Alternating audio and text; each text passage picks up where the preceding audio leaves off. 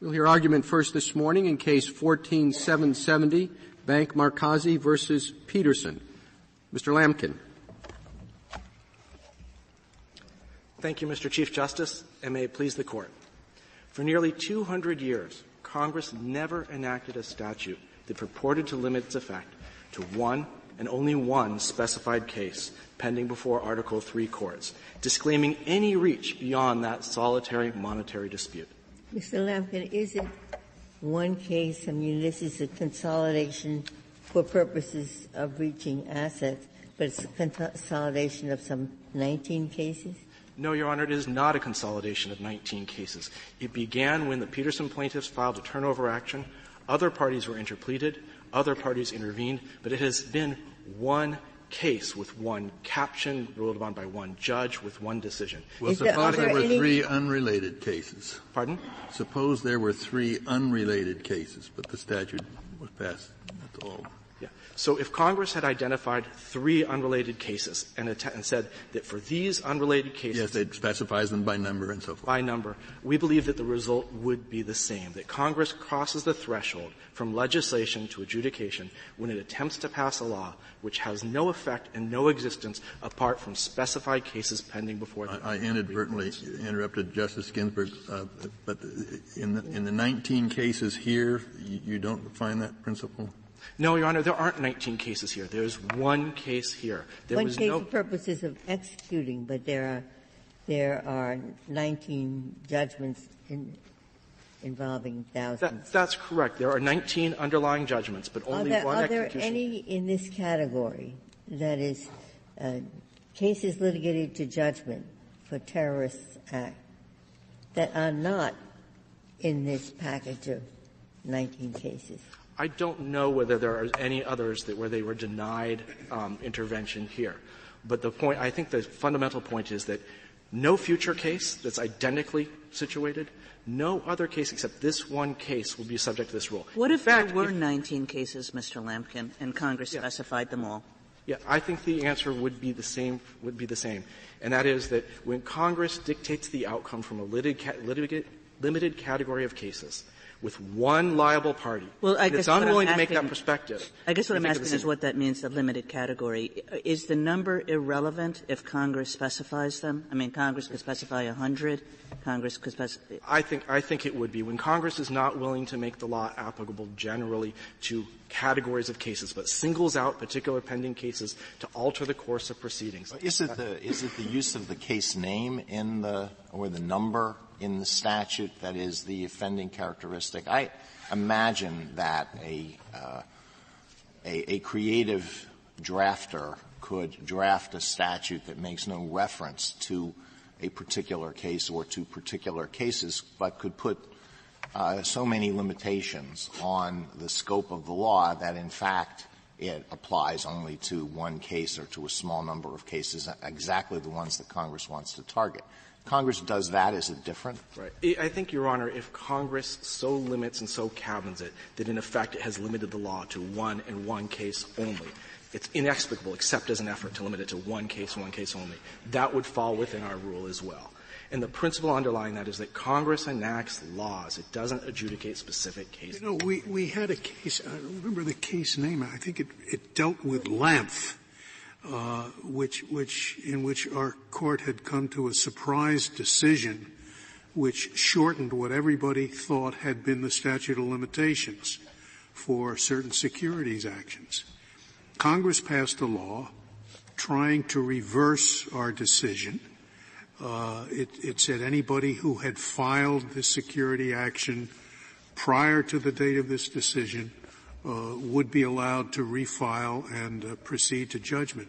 We went through a lot of trouble to say that uh, Congress can't do that because it is reversing the outcome of a court judgment. It would have been so easy to decide that case by saying, my lord, it's, it's just referring to particular cases. Well, in fact, the statute at issue in Plaut and the reversed Lampf was a generally applicable case to all pending cases. Its problem was it went too far and addressed cases which had gone final. And this court had held that its authority to adjudicate cases includes the power to conclusively decide them, and so it went too far. But it was a generally applicable statute to all pending cases. This is the exact opposite. In fact, if this suit were dismissed on a technicality and identically situated plaintiffs filed a new one, or these plaintiffs filed a new one and it got a different caption, 8772 would not apply. What about the Robertson case? Isn't that the, the case involving the timber? Yeah, so Robertson is also a generally applic- applicable statute. That statute said that for the five statutory provisions that were at issue in the cases, you could comply with those, or you could comply with two new provisions, and that would be sufficient for the timber harvesting. But that rule applied not only to those cases, but to any additional cases. Well, it was, as Justice Alito indicated, um, it, uh, and, and actually it named cases by, it didn't it reference the case by number? It, and the court said it referenced the case by number to identify the statutes that were the basis of the suit. And in fact, subsection G of that statute specifically contemplated additional suits challenging timber harvesting, and the new rule, which said subsection B3 and B5 are good enough, you don't have to comply with the other five statutes, would apply to those new lawsuits as well. Where do you get the notion that, that, that Congress can only act uh, by generality? It acts all the time on individual matters. I mean, it certainly, you know, grants uh, uh, uh, certain privileges and certain monies on the basis of individual cases. Justice Scalia, our principle is not that Congress can't act on a single bridge, a single parcel of land, a single set of presidential papers. It's that Congress cannot limit its legislation to one and one, only one case such that it dictates the outcome. Why, why is that? So, so long as it is not overturning a judgment that the court has made in that case, as it did in Lampf or whatever the name. Was it Plaut? I don't think it was Plaut. Plaut wrote it. I, I wrote it. I just don't remember. you know how many cases I've written. uh, so, so, long as it doesn't overturn the judgment of the court, uh, you have to be relying on the fact that it cannot act individually. Is it magic that it uh, that that the individualized law that it uh, enacts happens to affect a particular case? Why, why is that? I, I, think the principle is not whether it happens to affect a particular case. Congress can regularly, will often, problems will come to Congress's attention because of cases, and it may enact a law even thinking about that case. But what Congress can't do is limit its law so that it applies to that case and that case only. Because it violates what, what principle? At the, at, so, end, at the end of the day, I suppose maybe bill of attainder if there's a real intent to punish. Uh, maybe equal protection might work. Uh, but I take it you're relying on separation of powers Yes, and Article 3, because it's the role of the courts to decide individual cases. What do we do about all of the, what used to be when I worked in the Senate Judiciary Committee?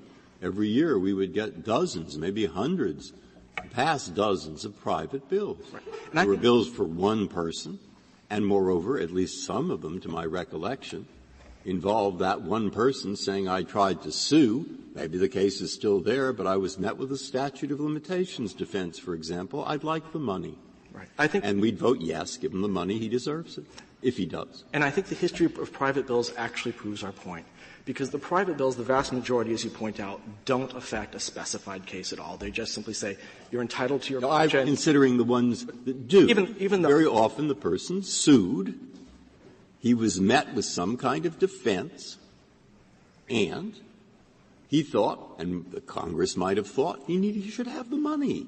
This is a technical defense. Exactly. And in the context of suits against the government, yeah. traditional context, the government has, the federal government has expansive authority to waive its defenses, to relinquish its claims, to expand or contract quality I immunity. And for in that context, and in that context alone, the government, the federal government has extraordinary power well, what, now, to determine. Now, suppose it's a private person on the other side. I can easily imagine circumstances were to take the money from private B and give it to private A, might, for example, take property without due process. It might violate some other provision. But if it doesn't violate some other provision, what in the, in the separation of powers unsaid principles distinguishes well, between taking $10 from the government and giving it to the private person or taking $10 from Joe Smith and giving it to the private person, assuming there's nothing unfair about that. Setting aside other constitutional provisions, Justice Breyer, the difference is this. Congress has full power to waive the United States defenses, to relinquish its cl- own claims, to contract or expand its immunity. But when it comes to a suit between two private parties, the government can't waive one of those parties' defenses. And courts, because era, pardon, because, because, those, because I think those aren't the government's rights. Well, from, oh, and, oh, the, the defense, the defense happened to be that worked an obscure provision in a Court of Claims Act that the government through Congress had once put in. And they decided it would be unfair to apply it now to this person, and so they repeal it in respect to that person, and there's never going to be another like him. Okay?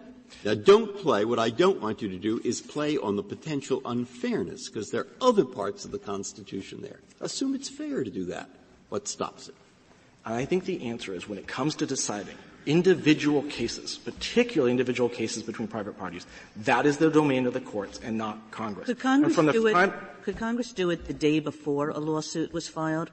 In other words, Congress knows that a lawsuit is going to be filed on a particular subject and just creates the rule for that lawsuit, but the lawsuit hadn't actually been commenced yet? Right so long as this law is of general applicability, it's going to apply to laws for the, for the future, then it is not going to be. Suppose it weren't. Suppose it was like Congress amends the law so that assets held in uh, uh, Clearstream's Citibank account is subject to execution by Deborah Peterson. Right. But I, before Deborah Peterson brought suit.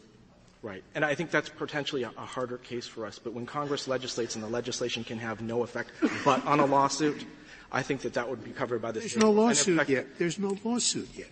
Yes. Um, from the time of the framing, state courts with comparable constitutions repeatedly concluded that it violates separation of powers for their legislatures to enact a law which had an effect on one case and one case only. And that included, for example, lifting the statute of limitations for one case and one case only. Because they had said. By one case you mean not, not one filed case?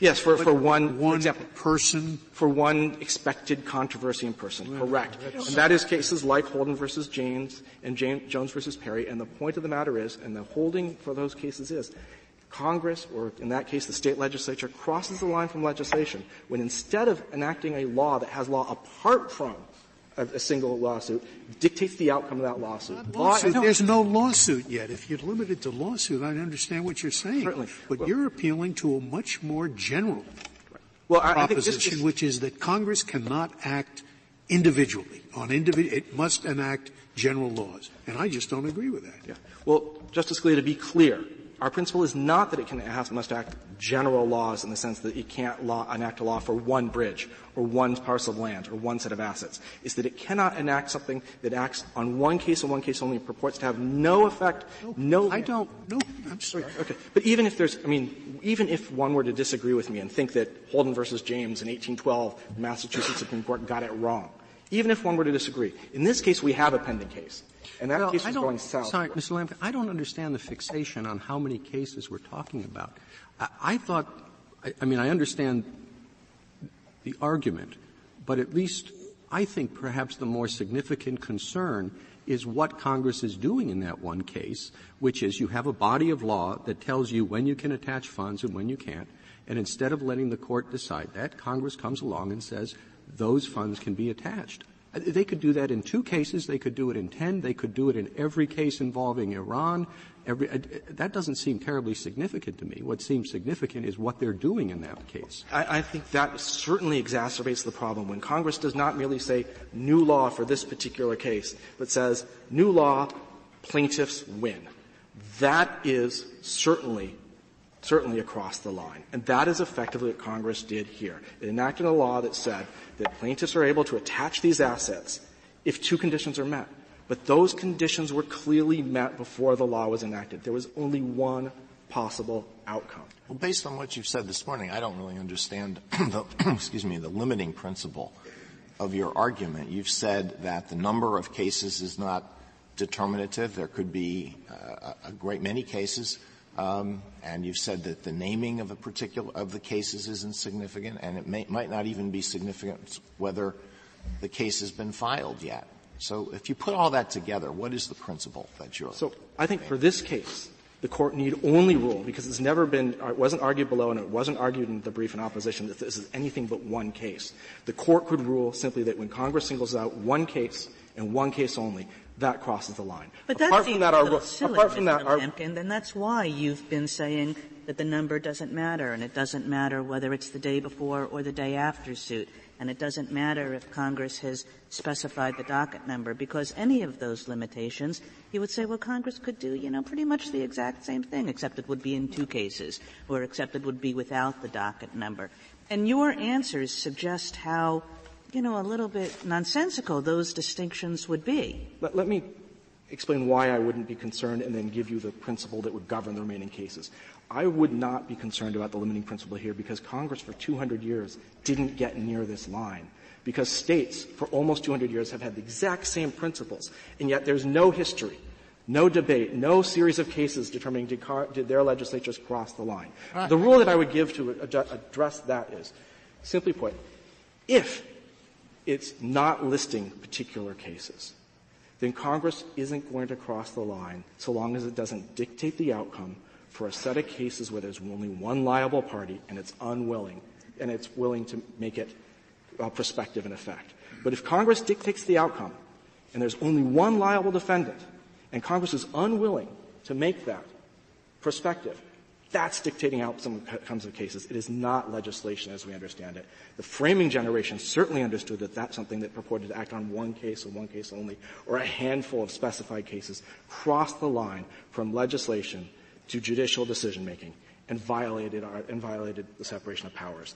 This court likewise should understand that when Congress purports to act on one case, and if that case is dismissed and that identical plaintiffs file the identical suit and it gets a different case number, yet the law doesn't apply, that law has no existence apart from dictating an outcome in a case. Why it doesn't it make a difference that this is in the area of foreign affairs? I had thought that our cases were pretty clear that the political branches, especially the executive, uh, mm-hmm. so I can see that there's a difference there, but that the political branches have a great deal of power in this area, even when it comes to very particular controversies. Right. And I think the government's examples prove exactly why Congress crossed the line here.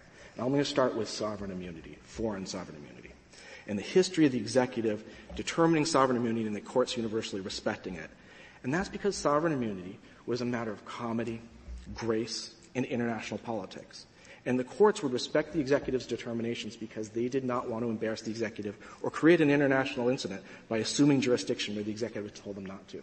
But state law and the UCC are not matters of grace, comity, and international politics. They're matters of law for the courts to decide. Well, the perhaps, perhaps they are when the assets are held by a country uh, as to which we have uh, very delicate relations uh, in, with matters particularly involving uh, uh, dangerous acts uh, allegedly perpetrated by that country. Justice Kennedy, I don't think the executive branch would submit to the courts a suggestion of state law because foreign affairs principles were at issue and expect the state a suggestion? I could a suggestion of state law as opposed to a suggestion of immunity. Because the state law is something that has existence apart from what the executive believes the right the state law is what would apply perhaps in the absence of a congressional statute.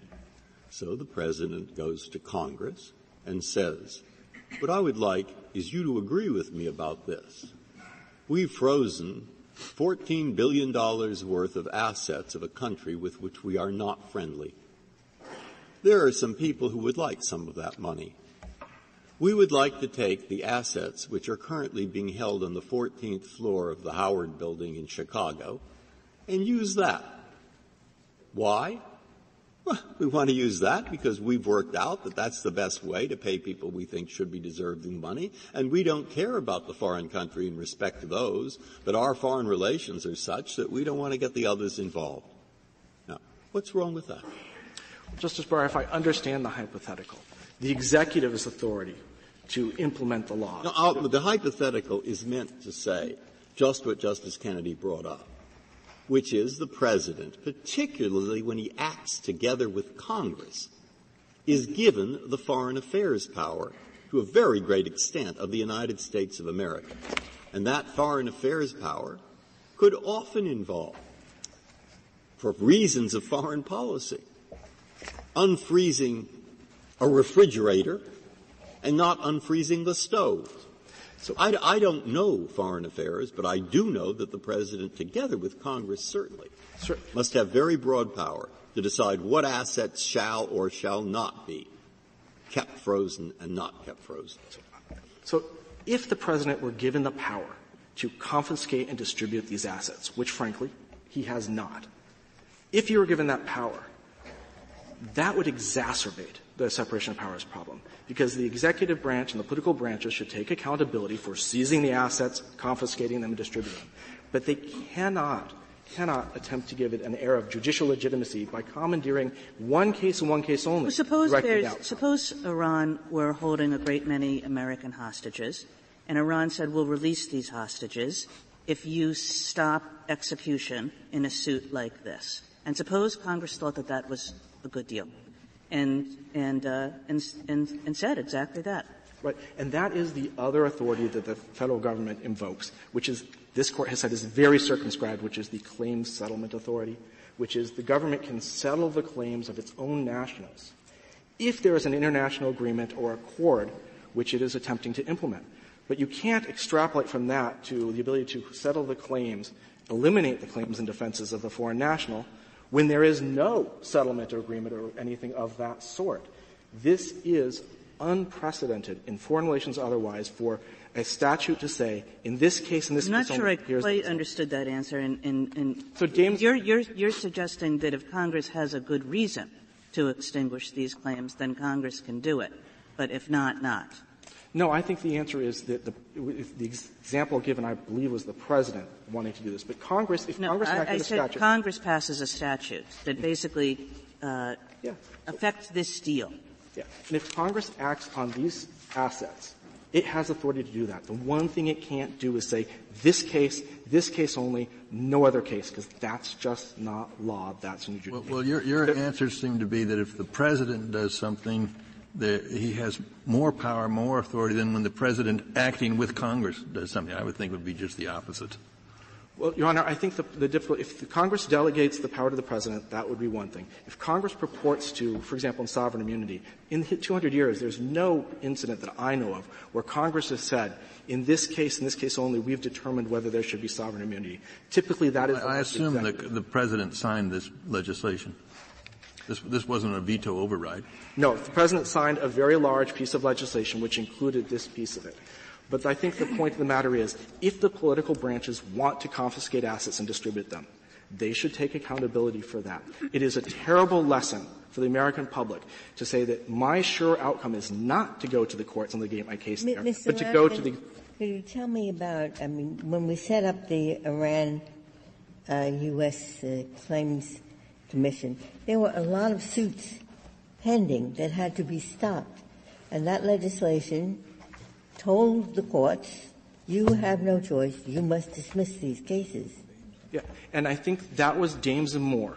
And that authority under Dames and Moore has been carefully circumscribed to cases where the United States has a settlement agreement or an international accord, and it is implementing the accord by, get, by um, settling the claims of its own nationals. But this is an effort to change the law in favor of its own nationals when there is no international settlement. That circumscribed authority doesn't apply. Well, suppose, no, suppose the, uh, the, the executive and the president determines that if you have this legislation, then a settlement will be easier down the road. We're going to flex our muscle. We're going to bring these people to the bargaining table. We can't do if, that. If they want to act on the assets, if they want to act on anything, a, a, particular race, that is one thing. But it is quite another to take one case and one case only and purport to dictate the outcome. If there are no further questions, I'd like to reserve the remainder of my time for rebuttal. Thank you, counsel. Mr. Olson? Thank you, Mr. Chief Justice, and may it please the court. Mr. Lamkin's entire case is summed up by the one single pending case. I counted over 25 times that that phrase appeared in petitioner's brief. Now I hear today that it's not one case. It's, it could be multiple cases. It's a particular outcome. It's particular property. Uh, what Congress did in Section 8772 is act pursuant to its core constitutional authority by legislating changes in substantive laws. And petitioner admits multiple times in its brief at page 26, 27, 52, 53, and in reply brief, pages 3, 5, 18, that substantive law was changed in this case. And the substantive law that was changed by Congress respected the execution of assets of a foreign sovereign judgment debtor. The judiciary determined in 19 cases that there was liability in, in these cases by clear and convincing evidence that Iran sponsored terrorist acts. Well, the issue doesn't have to do with liability. It has to do with the authority to execute. Yes, it judgment, does. Which is a separate matter. Yes, it is a separate matter, but my point is, and uh, the, the, cases that are involved in this litigation are pages uh, 2A and 2B of the red brief appendix. There were 19 cases in which liability was determined, damages were determined, and then consolidated for the purpose well, of well, suppose, suppose it were one case. Suppose there were two pending cases, uh, private person, private Jones versus Smith, uh, two separate cases under federal law where there's a statute of limitations. Could Congress say, in Jones versus Smith, the statute of limitations is hereby repealed? Yes, you're right. And I think this is the Plaut case to which Justice Scalia. No, the Plaut case was a judge was altering a judgment after the fact. This is before the case is the, resolved. The legislation in the Plaut case involved specific pending pieces of litigation, some of which had not been um, reduced to a judgment. Some of them had been reduced to a judgment, but that judgment had not been final in the sense that the appeals were not exhausted. And one case in which the uh, appeals had been exhausted, and that judgment was final. This court found that that violated the separation of powers, but that the change of the statute of limitations and the opinion for the court in that case by Justice Scalia points out specifically that Congress can legislate to change an element of a cause of action, to change a rule of evidence that's an impediment to the plaintiff recovering, and can change the statute of limitations. And in footnote 9 of that case, the court points out there's nothing, there's no problem with particularized. No, you're, you're, you're correct that there was a substantial discussion about uh, cases that had not been reduced to final judgment, but in my hypothetical, the Congress has two different rules. One for Smith versus Jones, the other for Doe versus Roe. Statute limit. Otherwise, the, the cases the same. Uh, in your view, they can do that. Yes, I, in my view, and my opponent does not dispute the fact that Congress can change the rule of decision by changing the substantive law while a case is pending. The courts have the obligation to apply. This goes back to the Schooner Peggy case in 1801. Uh, in, in, answer to, to, Justice Kennedy's question, there might be a problem, but not separation of powers. I mean, there could be an equal protection uh, issue. If, well, yes, uh, uh may I answer? Sure. Uh, Yes, and we point that out in the brief, that there, to the extent that there are violations of individual rights, the Bill of Attain, the, the framers of the Constitution put provisions in the Constitution to deal with that kind of situation, ex post facto clause, the Bill of Attainder clause, the Due Process clause, which incorporates principles of equal protection for the federal if, government. Uh, Mr. Olson, Congress passed a law that said, um, you know, there were a lot of challenges to the statutory interpretation under a particular statute, say the Health Care Act, and it said in any case uh, involving a challenge to the statutory interpretation of the Secretary of HHS of that act, once it finds jurisdiction, the court will enter judgment agreeing with the Secretary's I think that comes somewhat closer to the Klein case, where the court was talking about an, an area where the Supreme Court, this court, in, in the McCardle case, um, and the other case that's mentioned in that in that decision, where the where Congress was directing a result that was inconsistent with decisions that this court had already made with respect to the pardon power. So, well, well, but I mean, this court has a lot of decisions about how to interpret statutes, and what Congress is saying in my hypothetical is, well, that's good for you. We want you to adopt the Secretary's interpretation in every case involving in, in, pending cases, that would be much like the Robertson case, where there were two pending cases involving property out. By, by, saying that, you're saying it's okay. I'm saying that it's okay. Um, I, I, believe it's okay under the circumstances because what the, this court said in Robertson, in a unanimous opinion, was that that, that type of legislation is, to the extent it is changing the underlying substantive law, um, that is permissible. Congress may do that. Now, the, there was it's a little surprising. In other words, Congress can pass a statute and then say, whenever the statutory interpretation of the executive branch is challenged, you court will enter judgment in favor of the secretary. Well, what I think that your your hypothetical included two components. One where the Congress of the United States passed a statute saying that here and after this particular law will be interpreted in this particular way. That is a change in the substantive law, which in the Miller case. Not in a particular way. They don't care. They don't think this clause ought to be interpreted this way. They're just saying whenever it's challenged, you court adopt the secretary's interpretation. Then, we don't know what the interpretation is going to be. We just trust the secretary well, more than we trust the courts. Unfortunately, I guess um, some might say that Congress does that all the time by providing authority in administrative officials to interpret the statute, and then this court, under various different provisions that you've decided, say that we will accord deference to that under various circumstances. There's a difference between causing, uh, affording deference and entering a judgment. I, Let's make it even clearer. The, the, the court has issued its decision saying it agrees with the plaintiff's interpretation, but the mandate hasn't issued yet. And Congress says, boy, we don't like that decision. They pass a law saying, in that case, this is the interpretation you should adopt. I, and I believe that as long as that case is pending and is not final, a la the Plaut case, um, and the statute of limitations, we don't like, Congress doesn't like the interpretation or the application of a particular statute of limitations, Congress can say we're changing the statute of limitations in a sense by saying just as you said. Well, they don't say we're changing law. We just say we want you to enter judgment in this case in favor of the secretary. Well, I think that you now moved it further to the point where the Congress is directing with respect to a particular case the outcome between A and B. But to the extent, and this is Robertson, to the and, and that argument was made, and that argument was sort of adopted in the Ninth Circuit.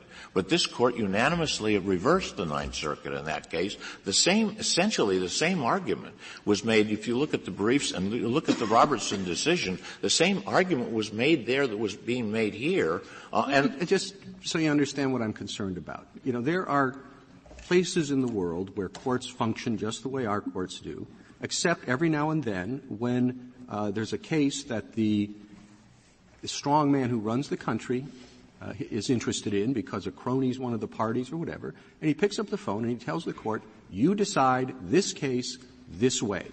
And I don't care what you thought the law was, decide it this way. Yes. I'm not sure I see what the difference is here. Well, I do, I, I respectfully, um, feel that there are many differences. Here, what Congress did, and my opponent concedes that the substantive law of foreign sovereign immunity from execution was changed substantively. And what you said in the Miller case, and, and repeating what was said in the Robertson and the Plaut case, is that if the substantive law is being changed, there's no problem. Under Klein, there's not a separation of prob, a separation of powers problem. And so, to the extent that, and I agree with you, that this system that we have wouldn't tolerate Congress directing an outcome of a specific case. A must win and B must lose. Um, and there might be implications with respect to the due process clause, the bill of attainder clause, if, if it involved some sort of punishment or ex post facto issues in, in, in, in the criminal context. What about the equal protection clause? The, this law applies only to me. Everybody else, uh, it comes out differently. Yes, and to the extent that don't the, you think there can be an equal the federal the, the federal constitution imports equal protection principles in the due process clause, that's that is that is correct. But what we have here We have um, multiple cases where the judicial function was first of all to decide liability uh, in individual cases, and liability was determined by clear and convincing evidence that the government of Iran sponsored terrorism that killed and maimed American citizens. And then there was a decision by the judiciary in 19 different cases that there were damages to be awarded. Is that, is that the ground? The, I, I'd like to perhaps repeat, but I think pursue what the Chief Justice was bringing up. And the example that I thought of is imaginary uh, the SEC has a rule, and it says a winning plaintiff in a 10b5 case cannot attach assets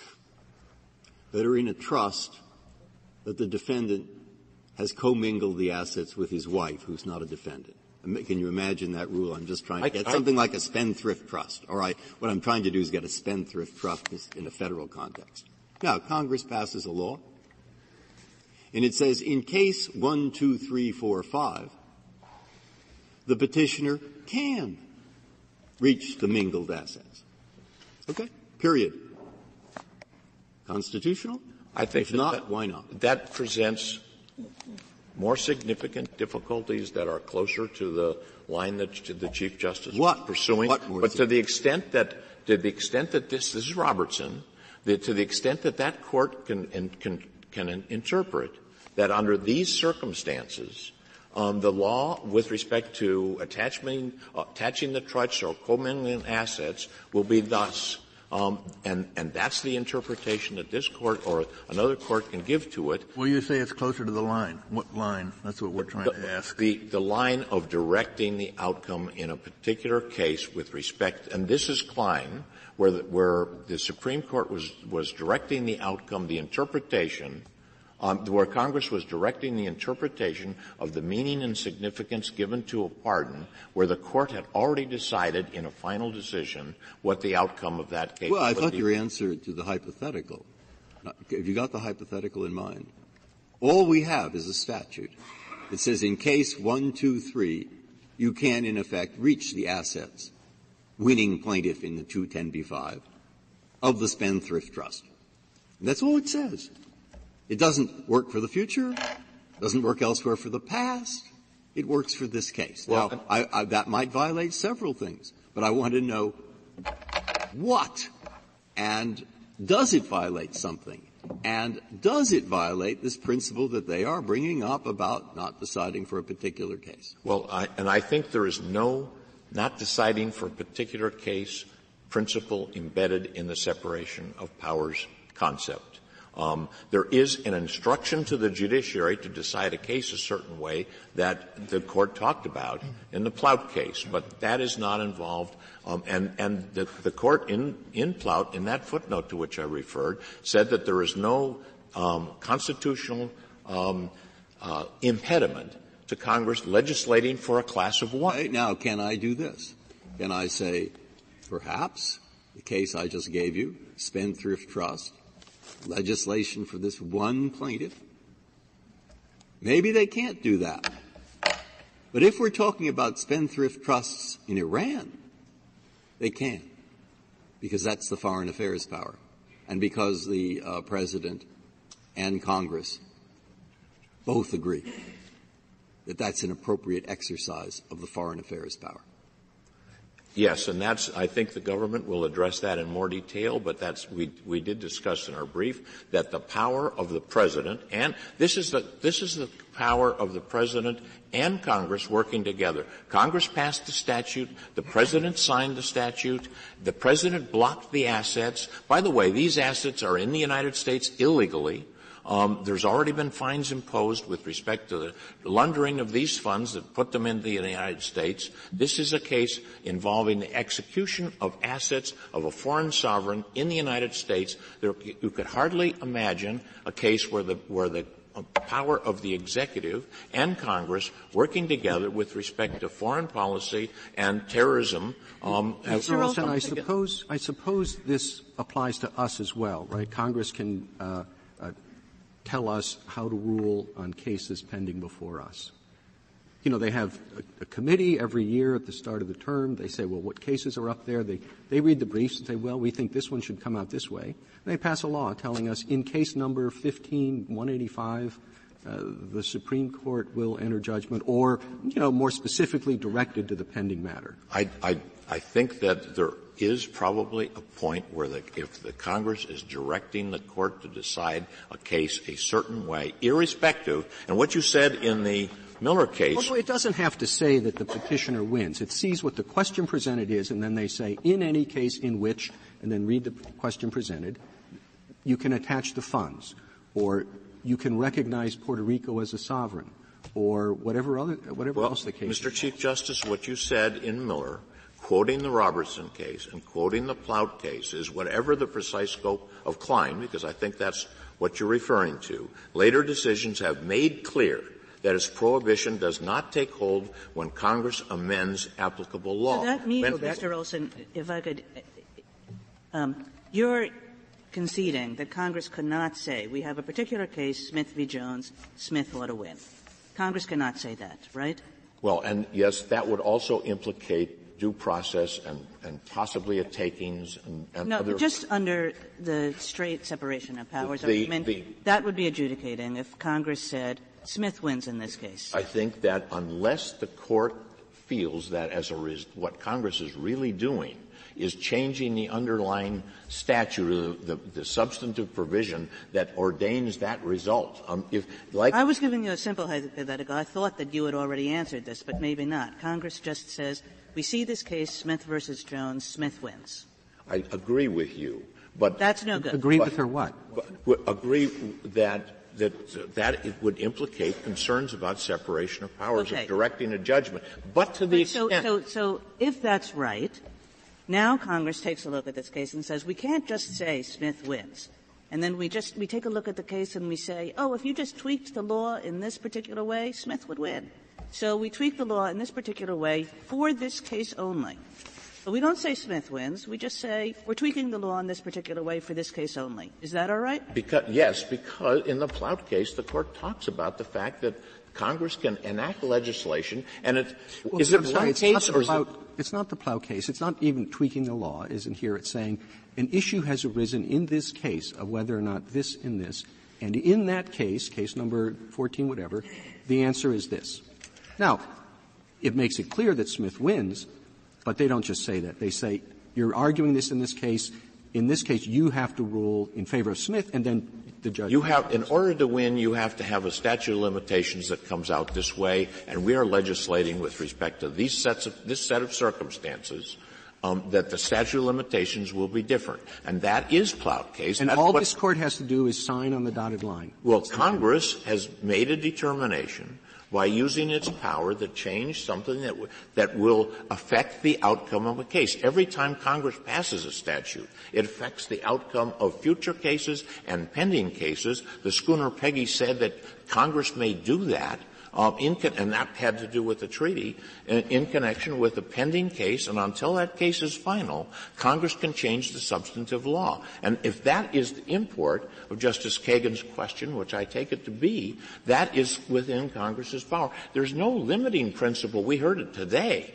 Um, the, the single pending case was out, that was mentioned 25 times in petitioner's brief went out the window. Now it can be, well, two cases, nine cases, seven cases. What is the limiting principle here? There are limiting principles in the Constitution, specific provisions, but we're talking about separation of powers. And what this court has said repeatedly is if the legislation can be interpreted as changing the underlying substantive law, that is not, uh, whether it's particularized or not, and even if it's a legitimate class of one, as that footnote in the Plaut's case says. Yeah, I mean, and yes, there have been the, private the bills. does say that, but it, why has the United States never done this before? That, that's what troubled me about the case. Well, you know, when 230 years have gone by, and never before Well, what you, has the government done something like this? I, I wonder, you know, maybe Congress didn't think it, it had the What is to do it. what is Justice Scalia something like this? As as you did point out in that footnote in the Plaut case, there have been um, individual pieces of legislation, special bills throughout the court's history. There have been changes in the copyright laws that have benefited particular copyright holders or patent holders or Indian claims to Indian tribes and so forth. There is it particularizes Doesn't justice. name, doesn't name a particular case and say for purposes of that Well, if case, you're- the law will be thus and such. Do you I have a single case where, where Congress has ever done that? I, um, what I would say, Your Honor, is that Congress does all the time with respect to particularized legislation favoring a particular individual or not favoring a particular individual, and it can't be a constitutional principle that if you put a case name in in the change of the law, all of a sudden it becomes unconstitutional, or you can do it today, but you can't do it tomorrow because someone filed a lawsuit. Thank you, counsel.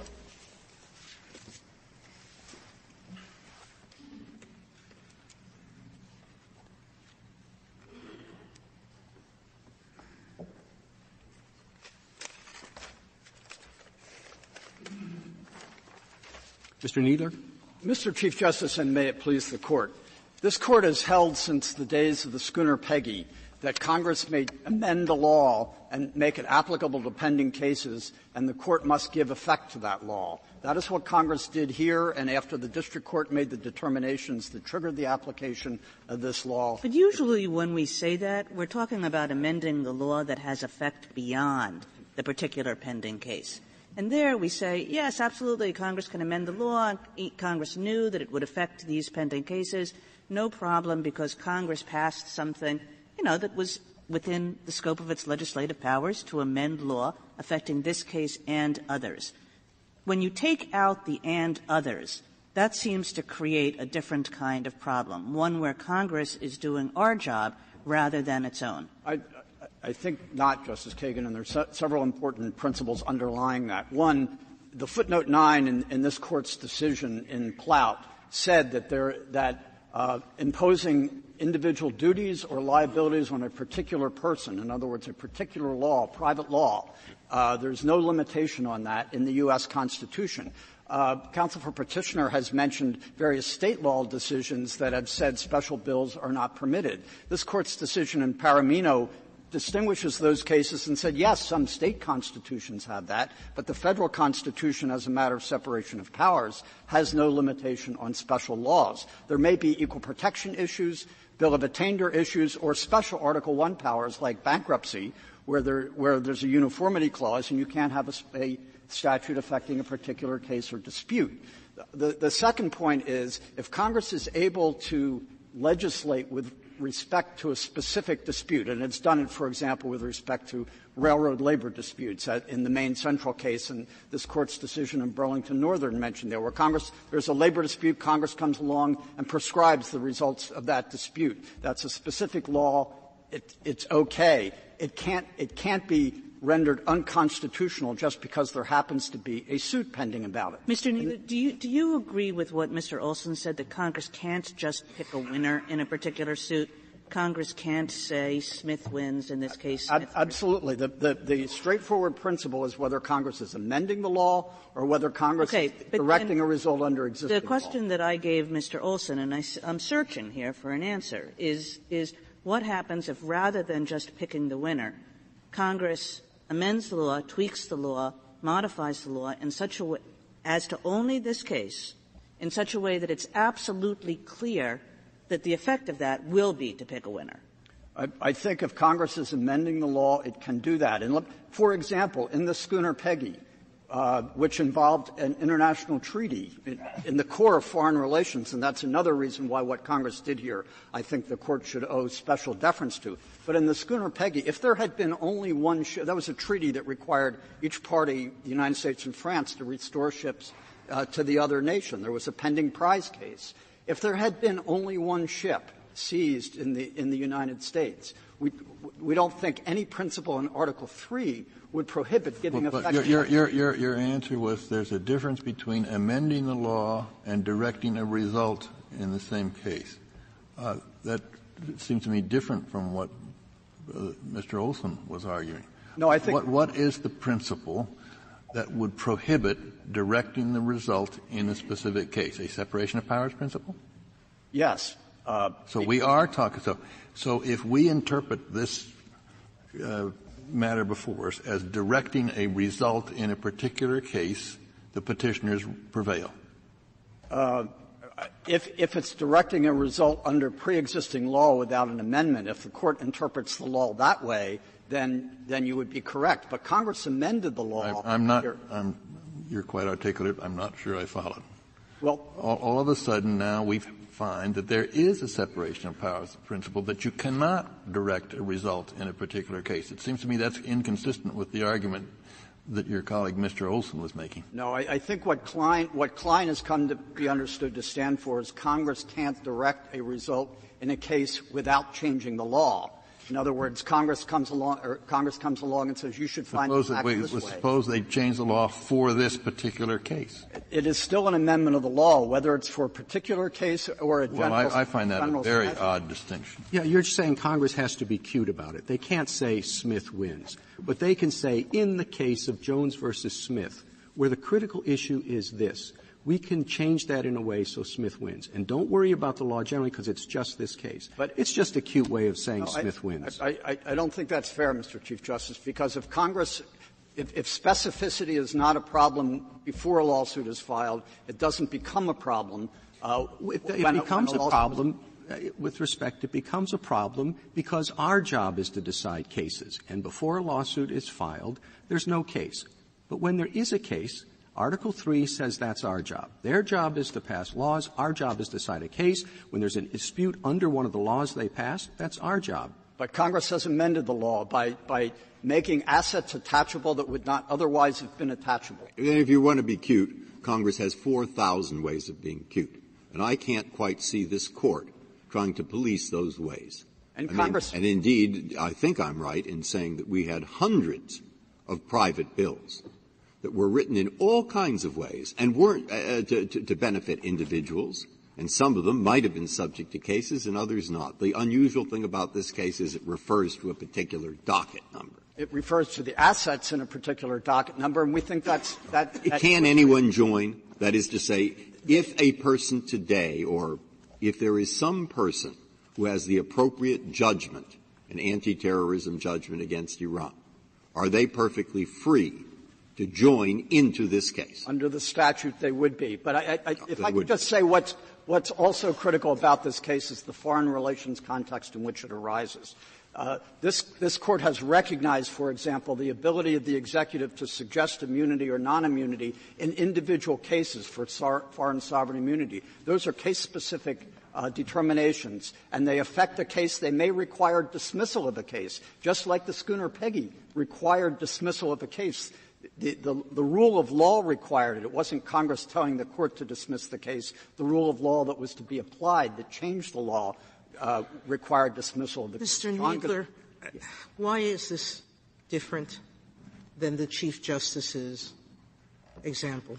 Because what Congress changed the law, and it did not purport to direct a result under existing law. It changed the law of foreign sovereign immunity by removing a possible defense that central bank funds were not subject to uh, attachment. It, cha- it, changed the law by overriding state. But for only this case.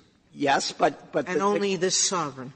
But con- as long as Congress is amending the law, there is not a separation of powers problem. There may be an equal protection problem. There may be a bill of attainder problem, something like that. But in terms, in terms of the judicial function, the judicial function is the same whether the law is general or whether the law is particular. Can, can we, can we in, would this resolve the case correctly in your view on your side? Are we to say whatever the general pr- principle is, this is a case which is against you. It refers to a case by number, the statute. But for you is the fact that anyone can join, and there are hundreds or dozens of such plaintiffs. And moreover, on the other side, it, it refers to $1.75 billion worth of assets uh, in all kinds of different securities and obligations, uh, and now perhaps in cash, uh, being held in New York.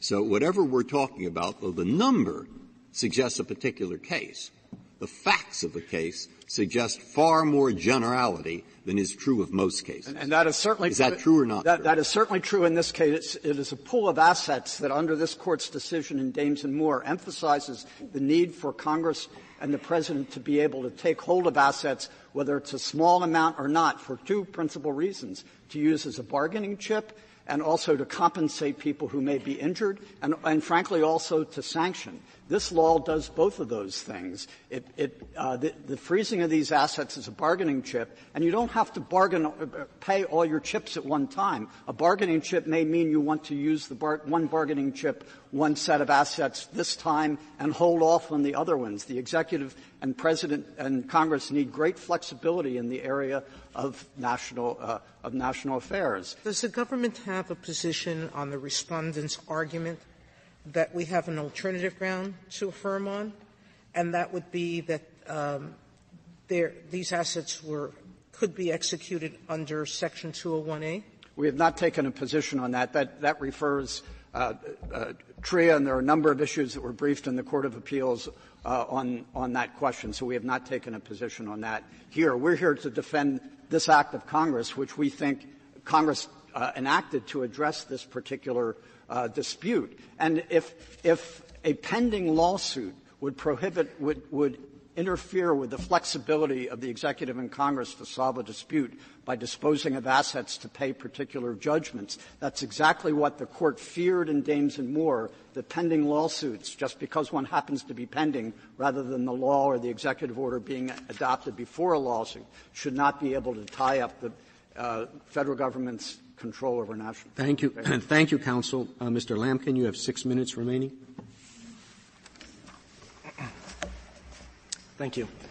I'd like to begin by going back in history to answer Justice Kennedy's question about a law that says we're going to lift the statute of limitations for one plaintiff and one plaintiff only and nobody else.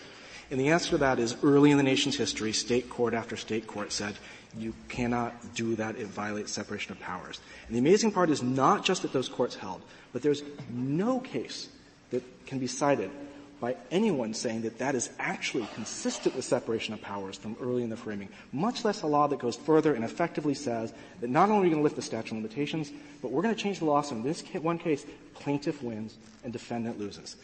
That is completely foreign to our legal traditions. It's completely foreign to history. And for 200 years, Congress never once enacted a law like that.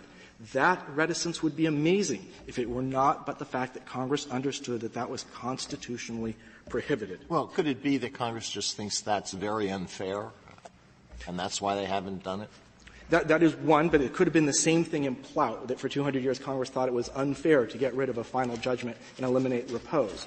But the fact of the matter is that the fact that it's also unfair, the fact that there may be individual liberty guarantees associated with it, doesn't mean it's not a separation of powers problem. Because separation of powers protects this court.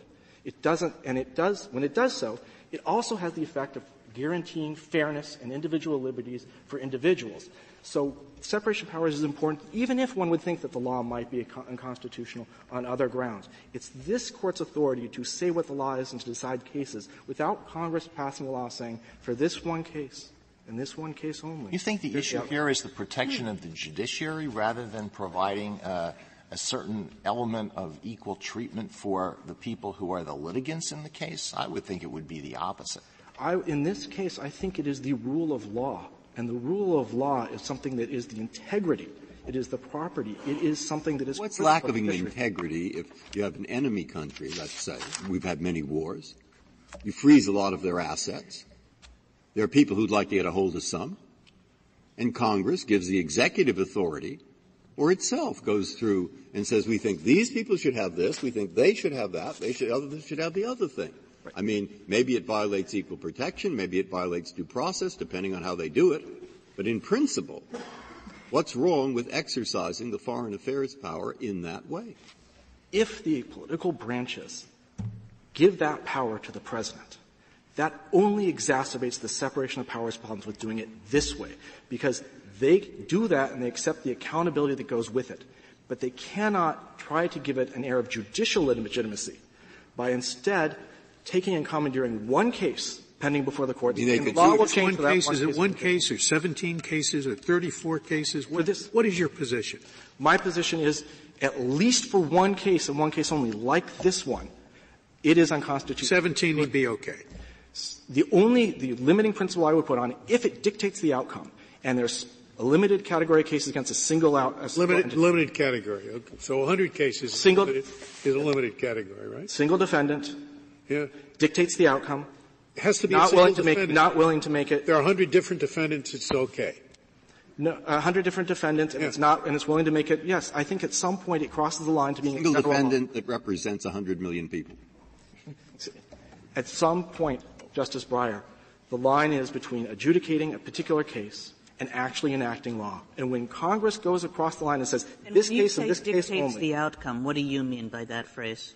I mean when, the, when Congress enacts the law, there's only one conceivable result. And that is exactly this case. When Congress enacted the law, there was one possible outcome. And that sort of law, which says in this one case, here is going to be the result, is entirely foreign to our legal tradition. It's that kind of law that the framers railed against and that separation of powers was meant to get rid of.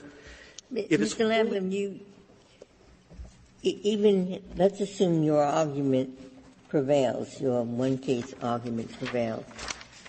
Uh, There is still the open question of the TRIA statute, which was decided against you in the district court, right? Correct. So that would have to be, if you succeeded on the issue that you're raising here, would have to be returned. Yes, that would be an issue for the court on remand. It's not within the question presented, wasn't decided by the court below. It involves complex questions of state law that are important and where the court hasn't heard from the securities bar which would be affected. So that is something that would def- definitely be an issue for remand. But when it comes to 8772, there's only one result, and that's, that's that plaintiffs win. There is nothing in this nation's history, and the lesson it teaches the populace is if you want to win your case in court, don't hire a lawyer, hire a lobbyist. Don't seek recourse in the judiciary, seek recourse before Congress for your private dispute. This court should not lend its credibility, it should not lend its judgment to that lesson, which is anathema to our judicial traditions. Thank you. I ask the judgment to be reversed. Thank you, counsel. The case is submitted.